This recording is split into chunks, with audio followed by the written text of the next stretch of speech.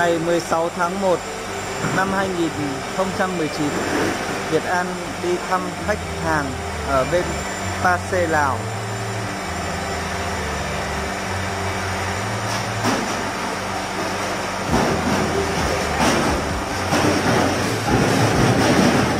Đây là dây trượt nước cung cấp cho nhà chỉ số đã được 75 tinh này sẽ làm ra đá viên. Như này. Đây là máy đá viên 7 tấn một ngày.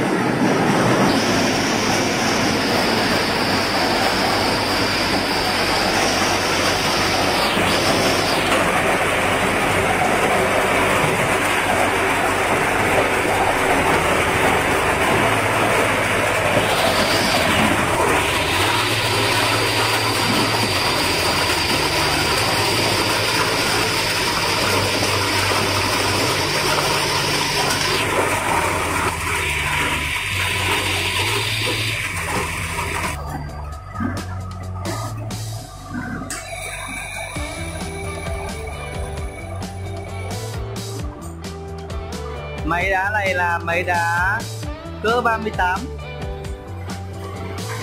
Hiện tại đã lắp được gần 15 rồi. Bên cạnh này là kho lạnh 8 khối. Đây là toàn bộ nhà xưởng của A, của chị Số. Vừa rồi chị Số và chồng đã qua nhà máy của Việt An ở tại Hà Nội Và đặt một cái máy đá viên 30 tấn.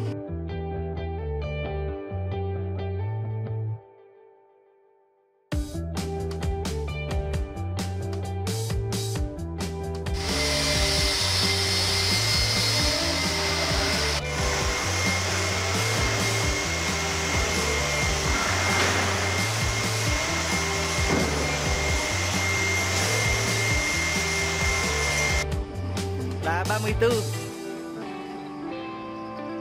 Phía này là nhà xưởng mới xây dựng của anh chị đang sắp xong rồi. À, Dự kiến là cuối năm 2018 âm lịch.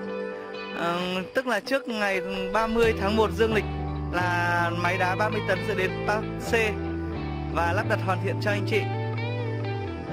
Ngoài ra anh chị mua dây chuyền ống nước là 5 khối một giờ để thay thế cho hệ thống cũ của mình.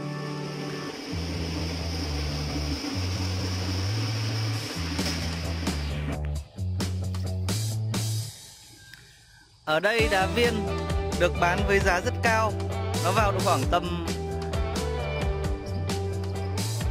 2.000 kíp một cân. Tương đương với khoảng 5.400 một cân là tiền Việt. Ở đây đá được tích trong một cái thùng như thế này. Và chuyển đi cho đại lý. Mỗi đại lý một thùng. Nó không giống ở Việt Nam. Khách